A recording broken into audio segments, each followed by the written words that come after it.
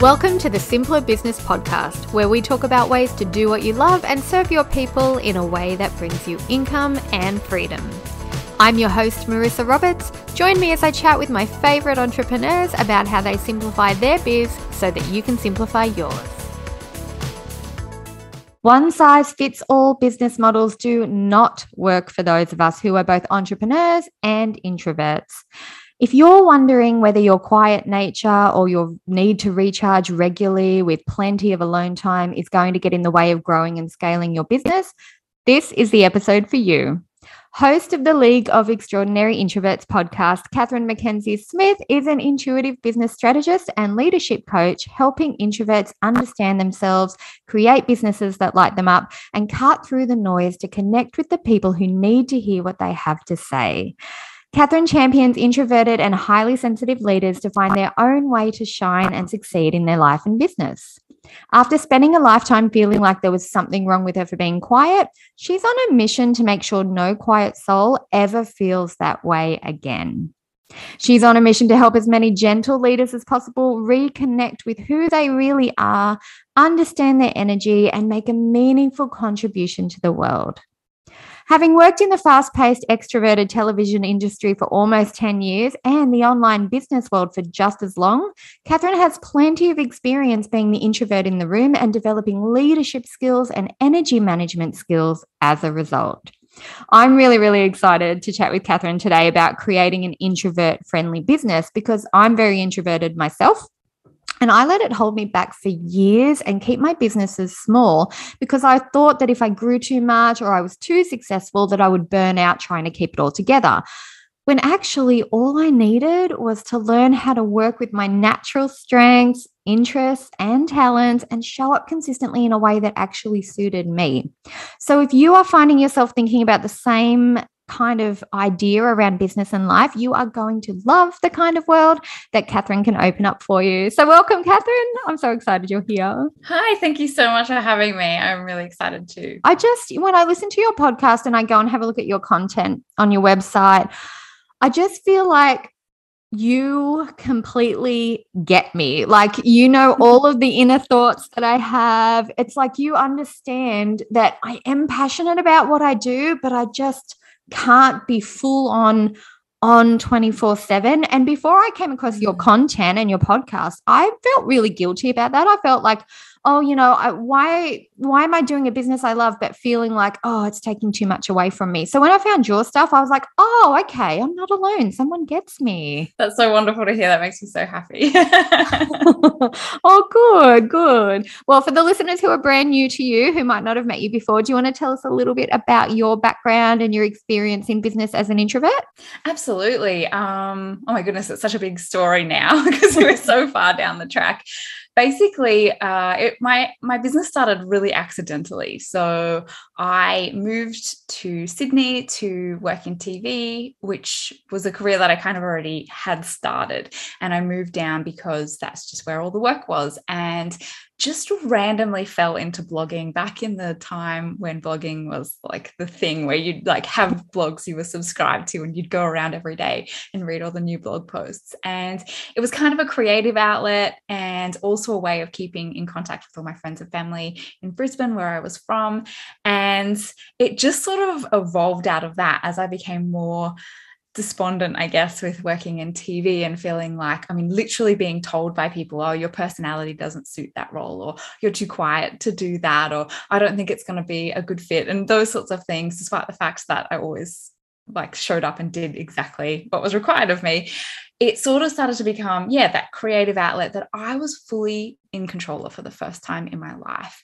And meeting a whole bunch of bloggers in Sydney that then led to realizing that, hey, this could be a business. This is the start of this kind of online business not the start of online business, but it was really this evolution from blogging and creating in that way to how content could then be turned into a, a, million different kinds of businesses. And so it sort of led into that. And then just in the way that we're all conditioned to be more extroverted or to follow certain strategies and ways of doing things in a super extroverted way just went all guns blazing into starting my business and within a couple of years found myself in a similar place to what you mentioned, just feeling really drained all the time. Feeling like, oh my goodness, how can I possibly grow this business to be at the level that I want or need it to be to financially support me and to feel that that kind of all of the things that I want it to be? Mm. Without burning out anymore. Like I can't possibly take on any more clients because I'm just absolutely exhausted. How can I possibly sustain this? And I ended up walking away from my business for nearly three years and helping my partner with a new venture mm-hmm. that he was working on. And yeah, over time realized that this isn't actually because I don't love it.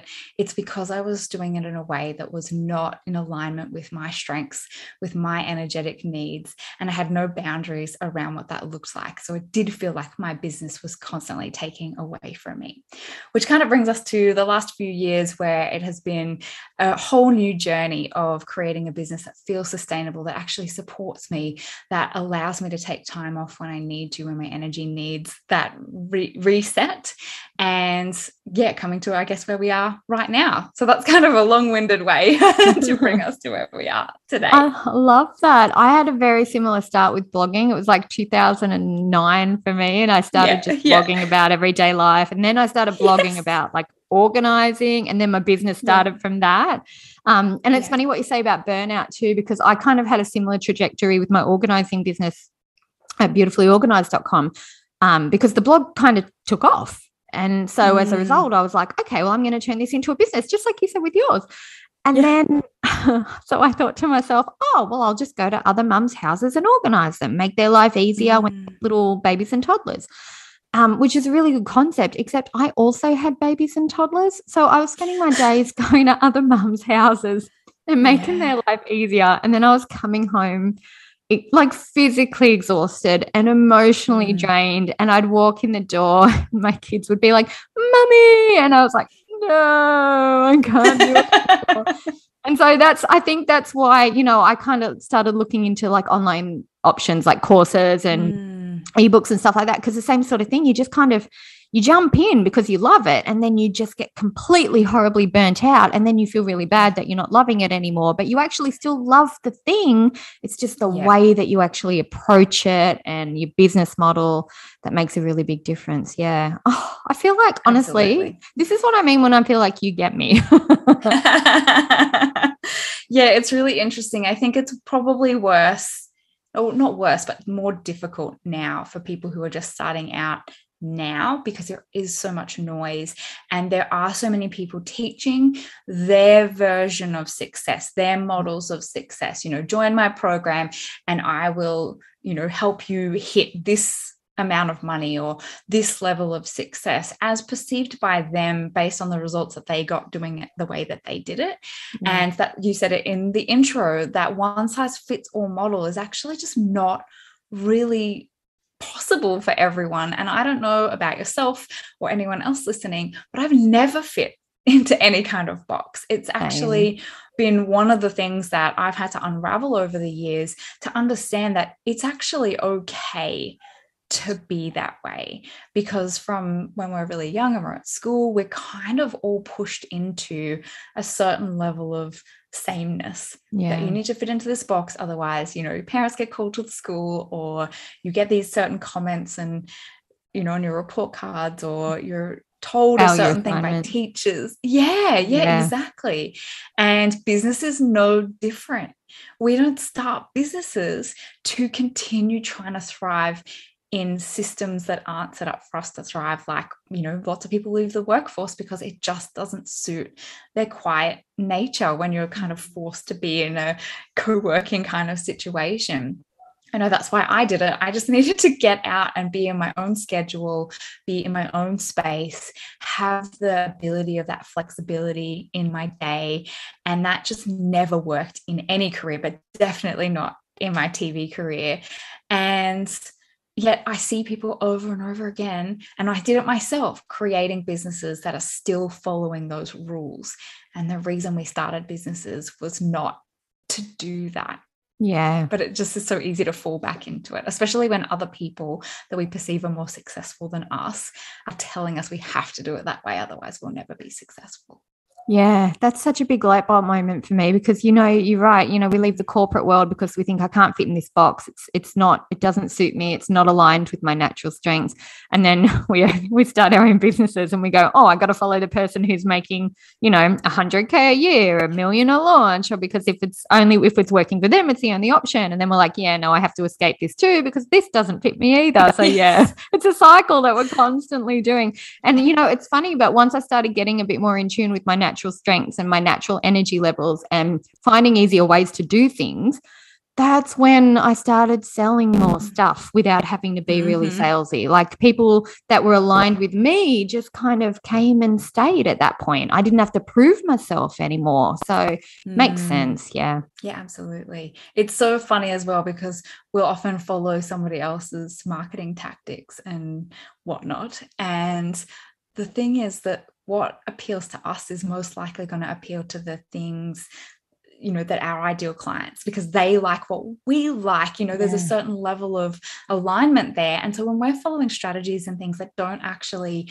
we don't even really like but we're doing it because someone told us we should then we're actually not even calling in the right people most of the time because yeah. we're following what you know we're following someone else's plan and so we're calling in the people that they're targeting but we're not actually necessarily creating an environment that feels safe to the people that we actually are in alignment with it's such a weird thing that's so true and then we wonder mm. why the people mm. we're attracting are so what we perceive to be high maintenance because they're not yeah they're draining they yeah.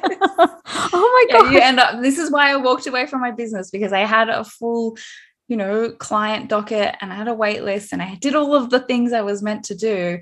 And I was so burnt out and drained that even the part, which is only like the 10% part, which is the actual service that you offer, the coaching, the whatever it might be, even I was coming off those calls just being absolutely exhausted. Oh, and it was because the people that I had called in were just not in alignment with the ones that I really know are like my soulmate clients. So mm. yeah, yeah it's an interesting thing to observe. Yeah, for sure. And, you know, I talk about burnout and overwhelm a lot too, because as an introvert, I think these two. They're really big factors that can hinder our success as, uh, as entrepreneurs. They're the things that make us go, maybe I've made the right cho- made the wrong choice. Maybe I shouldn't be doing this after all. And how mm. we can set up the running of our business to allow for space. Well, you know if we have space so that we can feel recharged or feel calmer or feel more aligned and we're not suffering for that overwhelm and burnout i think that's that makes a huge difference doesn't it? Absolutely. And really the first way to start even knowing what that is is to actually understand that we aren't just one thing. Yeah. we aren't just an entrepreneur. We aren't just an introvert. We aren't just this one identity, we are a tapestry of lots of different things put together. And so, even our friends who might be introverts and work in the same kind of business model as us and do similar sorts of things, the way that they work and what works best for them isn't necessarily still going to work for us. And so, that self inquiry, which for more introverted people is something that we're actually really good at, but I think we've been kind of talked out of listening to just by being in the world. And when we know who we are, when we know what it is that is that our strengths is what works best for us is what makes us feel energized is what makes us need to then take a break you know if we've got an event we have to go to blocking time out of our schedules having that awareness first then creating a schedule that aligns with that, knowing that it's probably going to ebb and flow maybe throughout the week or the day or the month, depending on how you plan your week or day or month, yeah. and then actually working with that. I find so many of us what we're what we're doing is we're working against our natural tendencies because we think there's something wrong with us. And when we actually start to listen and pay attention and go, mm, my energy's not that great this week. You know, I've got this thing I call bare minimum business where I'm like, mm, not the best energy this week. What are the things I absolutely have to show up for? And then what else can be put on the back burner for this week. And I, that takes practice you know yeah. it is not something that we just naturally go ah i'm, I'm just going to do that because there's so much conditioning there's so much of that good girl mentality that so many of us have and that i don't want to let people down mm-hmm. and oh it's so unacceptable to cancel or to move things around or to do this this and this but when we remember that we're creating these businesses for ourselves to be the best we can be that's how we can show up better for our people and our clients and our whoever else we're taking care of within that mm. to make sure that yeah we're actually out in the world doing the best we can and we cannot do that when we're burnt out and overwhelmed and everything just feels like a lot I love that concept that you said about bare minimums just then. And I thought, I thought to myself, as you were saying that, I thought, you know, I do that in family life. Like if I'm mm. run down or overworked, I'm like, right, guys, all I got to focus on is get people fed, uh, make yes. sure the dishes are done, that's pretty yeah. much it, right? Yeah. Cooking and dishes, everything else just can fade into the background today. It's too much. But I've never given myself permission to do that in business because I always feel like I'm going to get in trouble, even though I'm the CEO, like I'm the founder, yes. I'm the person. But I still have this need to live up to a certain standard, even though it's making me feel like crap if it's too much. Yeah. Yeah.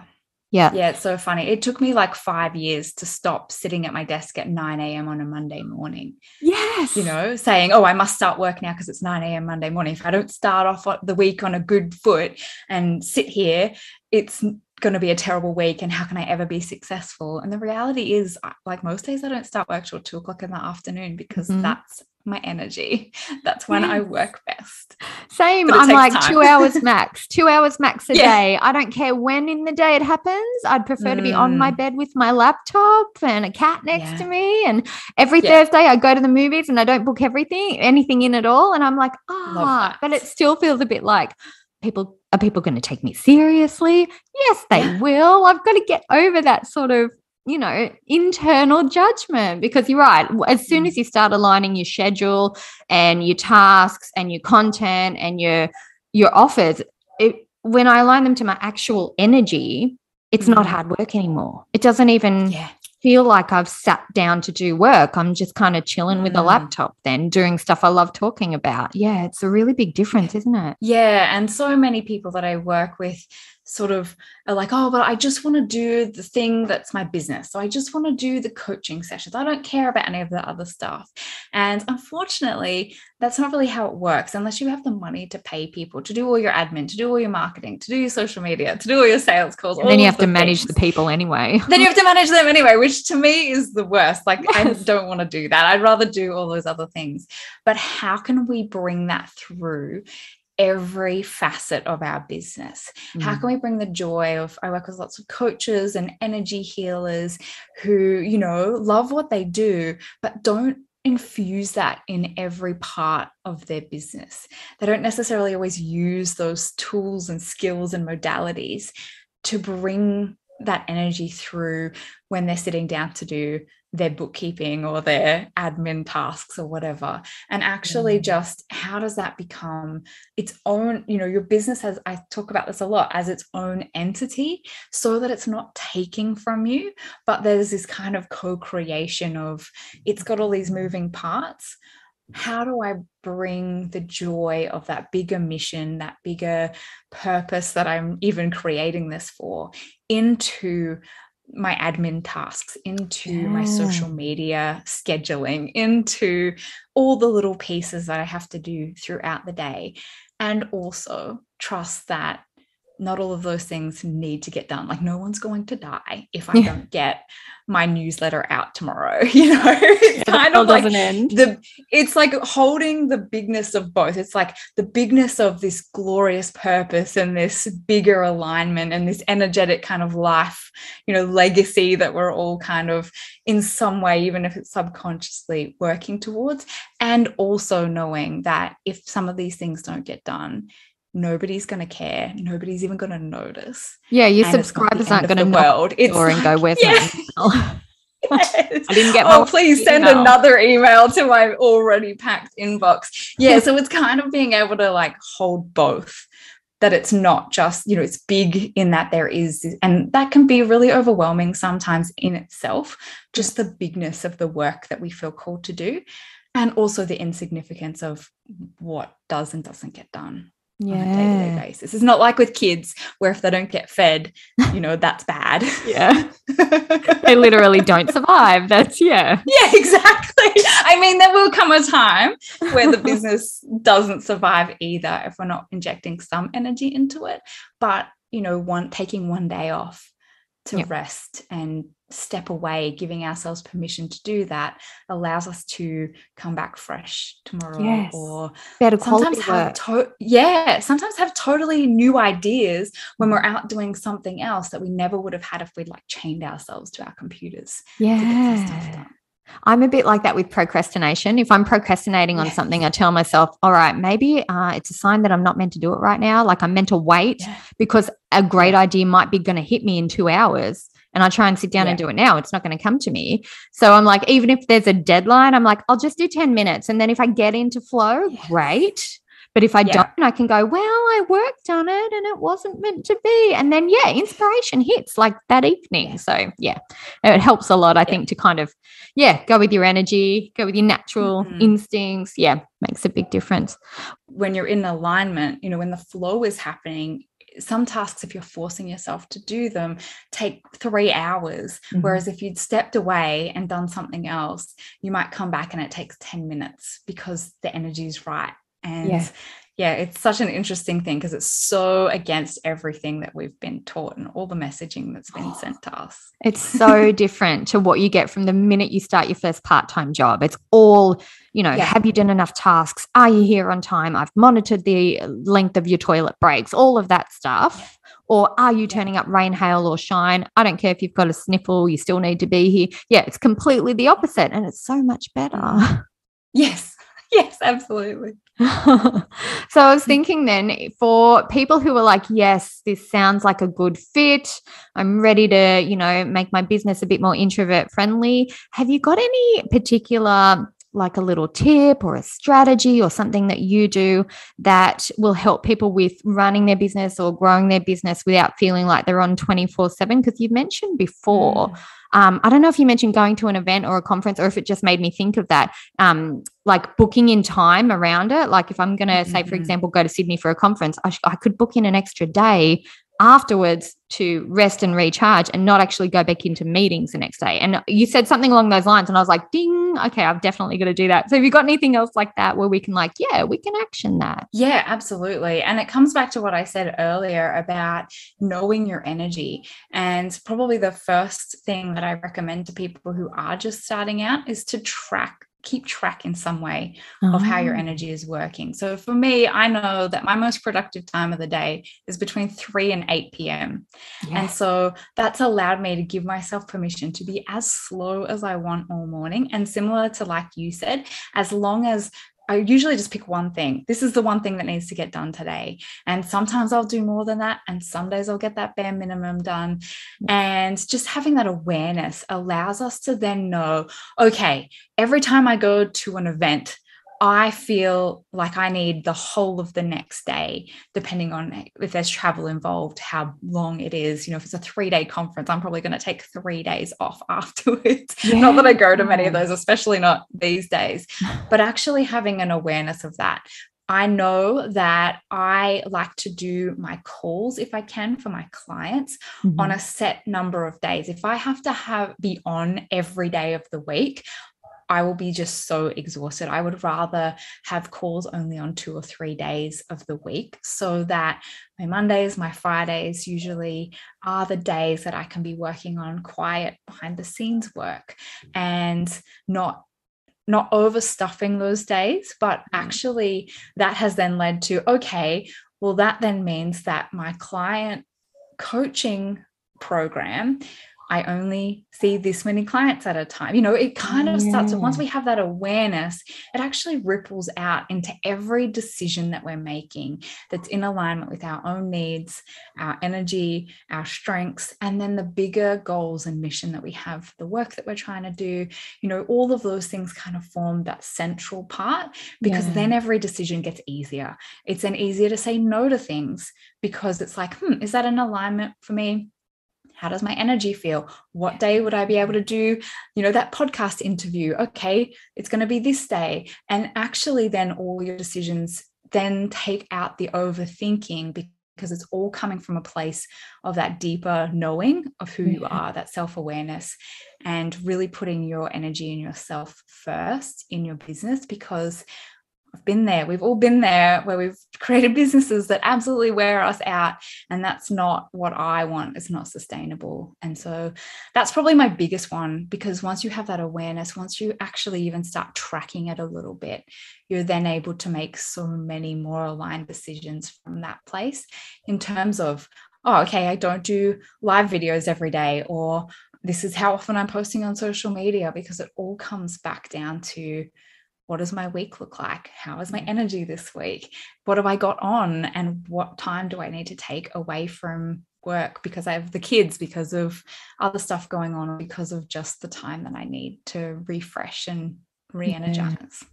I think that's important to note too is that, you know, like I talk about my kids a lot because they're primary school age and they do take up a lot of, you know, time and emotional space in a good way. I love them. But if I didn't have kids, I'd be like, well, that doesn't mean I, I don't deserve to have downtime just because I don't have dependence. You're right. It's about how you're feeling, not necessarily does your situation match up with other people who are busy, traditionally busy. Mm. You know, it's mm. okay to have as much time and space as you actually need. There's nobody out there who can tell you better than you can how much mm. space you need, how much recharge time, how much rest time. We know in our gut when we actually really sit down and listen to our body.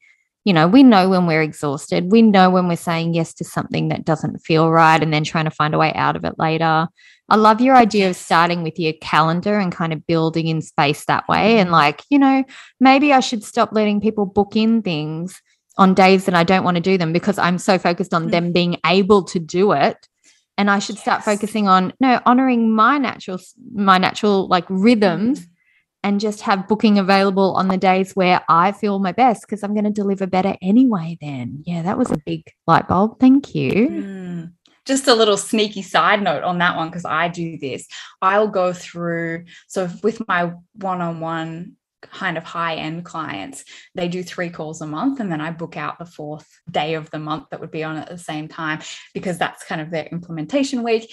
But it also, um, when I've only got a couple of days open for people to book in, sometimes people will come back and say, Oh, I'm so sorry. I work full time. I can't do this or whatever. And then you can make a decision from your energy as to whether you say to them, okay, well, this, I could make this time available for you. So it's kind of a little bit of both because you know in your mind, oh, I could probably fit someone in on this day if I needed to. Yeah. And then you can make a decision that's going to suit both of you as opposed to just having every day open and people can book in whenever. I actually reduce my times down as much as possible so that then I can open them up on a case by case ah. basis, depending on what whether someone's a really good fit, what other stuff I've got going on, you know, at that time. Yeah. And so, yeah, it's kind of going way in to then be able to expand in a way that people feel special the then anyway.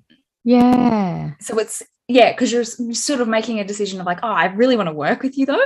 Yeah. So I could do a Saturday morning. You know, I don't have kids. And so I have so much flexibility. I can't do nights because of another business that we have, but it allows you to then still be fully in control of your schedule, yeah. which is really important to me. Yes. But I also want to be of service and show up for my people, but also like still on my terms. yeah, exactly. In a way that feels good for everybody. Yeah. Oh, exactly. Yeah. Katherine, thank you so much for being here today and sharing that because I just feel like, oh, everything's like everything just feels easier when we approach it from this sort of angle. And I've really enjoyed chatting with somebody who you know, understands the importance of this sort of thing and how much of a positive impact it can really have on not just your business outcomes, but your overall well being as well. And I think they're really intertwined. So thank you so much. Oh, thank you, Marissa. Great questions. And I just love talking to you about this today. It you know, when you're in your business, you never really know. And it means a lot to share these ideas that I've just sort of like, oh, this is what works for me. And to mm-hmm. actually know other people feel that too, which is what we're all trying to do at the end of the day. So I really appreciate that. And I love that we've been able to talk about some things today that have given us both some insights on how we can just keep showing up in that way as introverts in our business. Yeah, me too. And I know there's some of the listeners out there will want to dive even deeper. So, where can they find you? What's the easiest way? Is it socials or website, or do you have a resource that you want to share? How can they get more from you? Probably the best, easiest way to connect with me. I know pretty much everyone's on Instagram. I'm on there at Miss underscore KMS. I also have a free Facebook group called Introvert Friendly Business, which there is a link in the description in my Instagram profile that will take you there.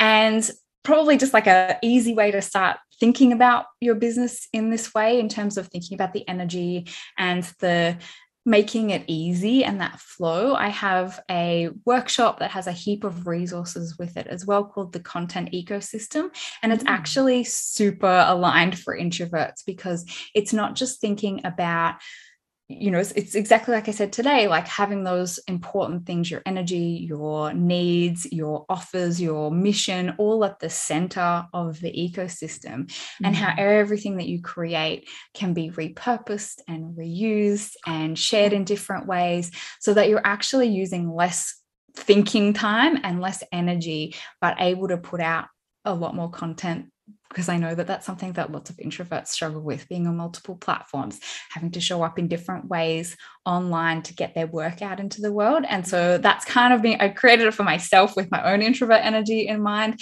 And it's something that I know it helps a lot of people just rethink the way that they're showing up and creating content online. So that's yeah, the content ecosystem.com is where that one is. And that's also in my Instagram bio as well.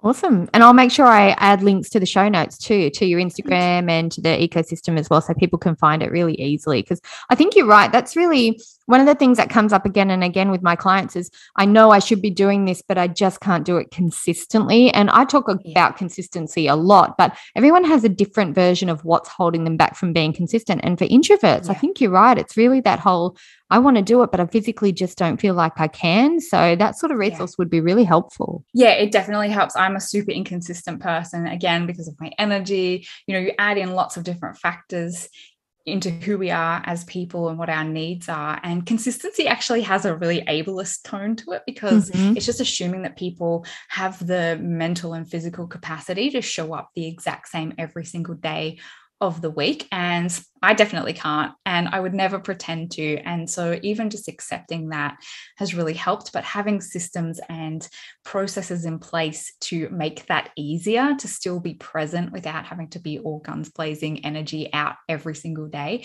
has absolutely changed the way that I think about business and content and everything. Yeah, that's amazing. Oh, this has been such a good chat. And I really hope that everybody listening out there has enjoyed it too. It's been a wonderful time chatting with Katherine. And yeah, I'll see you in the next episode. I hope you enjoyed this episode of the Simpler Business Podcast. If you did, please subscribe, rate, and review us on Apple Podcasts. There's a link in the show notes to make it nice and easy for you, just the way we like it. If you're ready to simplify and scale your business, you can get started with my free audio class at marissaroberts.com. See you next time.